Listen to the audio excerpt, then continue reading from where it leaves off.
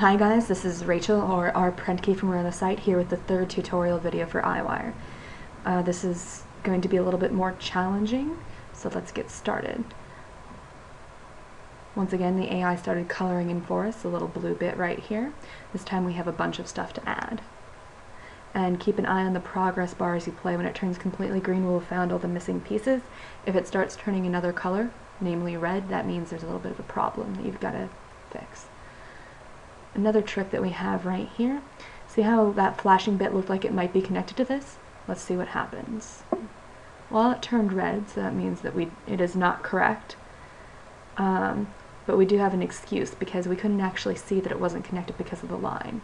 So if we want to hide the color, because the color was covering up the line, you hit shift and hold it down. And see how that worked? Now we can see clearly that the blue is not connected to the red piece. Okay, so let's deselect that with a nice right click and hit OK to get rid of the pop-up. Now this cube is going to be a little bit more complicated. We may have to scroll back and forth using our up and down arrows or the scroll wheel on the mouse. If you end up having trouble, remember you can click the question mark in the lower right hand corner. Another thing you can do in the lower right hand corner is turn off the sound. You may have noticed it makes kind of little noises when you uh, color something when you erase it. I'm going to turn them off now and let's get started. Okay, so scrolling back and forth so I could see what's attached to it and it looks like these are attached. Something else you can do is if you look in here, you notice that it's really rough looking right here, and I'm going to zoom in a little bit so you can see that. And I zoomed in using the touchpad. You can also do it with the scroll wheel of your mouse. And to rotate this, you just click and drag. Okay, so see how that's rough in the 3D? That means that there's stuff missing there. Another cool feature that you have for the 3D is if you double click, it takes you where you double click in the 3D. So it'll move the plane to that point that I just double clicked on. And this plane, remember, is the same as right here. So that's what it's representing. And that's me accidentally clicking on something, so let's undo that. I'm going to zoom out a little bit in the 3D so I can see it better. Just turn it around. Alright, so I know there's missing stuff right there because it's rough. Let's go find it.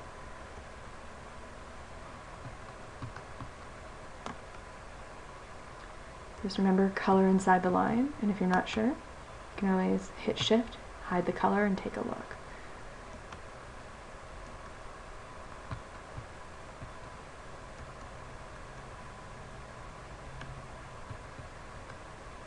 Okay, and it looks like right here, this is branching out. Look at that, a big branch just came up in the 3D, I can see that. And also note that this part that I said was rough earlier, now it looks a lot smoother. That's good, that's what we're looking for. Okay, so let's continue on, scrolling in the 2D. So remember what I said earlier about only following one at a time? So we're going to make sure we do that. So this one looks like it might be splitting into two right here. Let's follow this one up here first. And you're a lot less likely to miss things if you only follow one at a time. Just, you can always go back.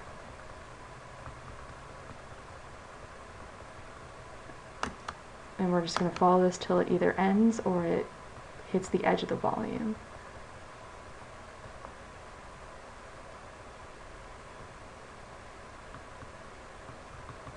Okay, so now we're going to go back up.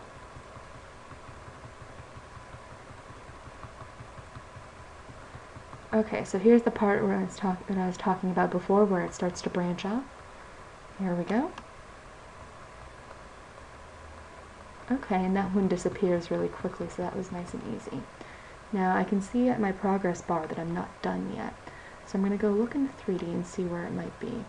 Now what I see right here is a hole. When there's a hole, that usually means you're missing something. And also note this little kind of jagged outcropping.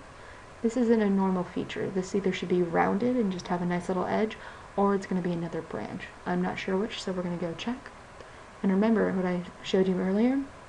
Double click, and it relocates the plane there. So this is the part that we missed earlier. So let's continue coloring. Okay, and now we're going to try and look for that little outcropping right here that we can see in the 3D.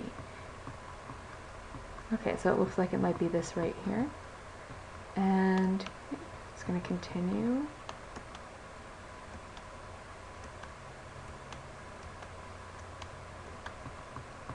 And wow, look at that, it turned it into an entirely another branch. Okay, so let's scroll a little bit more and make sure that that's, there's nothing else missing. Okay, looks like we're done. Progress bar is all the way over to the right hand side in green, so that looks good. Let's hit check our work. And 99% correct. Excellent. Only pieces we missed are tiny little purple ones, and that's pretty good.